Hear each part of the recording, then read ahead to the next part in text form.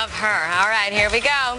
Next up, we have comedian, actor, political commentator, and star of the beloved TV series, The Hughleys. He makes us laugh all the time, but can he dance? Here's D.L. Hughley.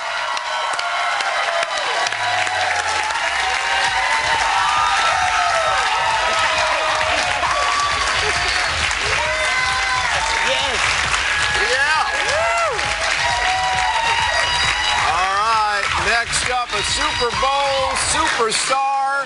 He holds the record for the longest uh, touchdown ever in the history of the game. We, we, were talking about it, 108 and a half yards, according to our estimates. And, and according to this, he loves to jet ski. I don't know how that'll play into the show. Give it up for Baltimore Ravens wide receiver, Jacoby Jones.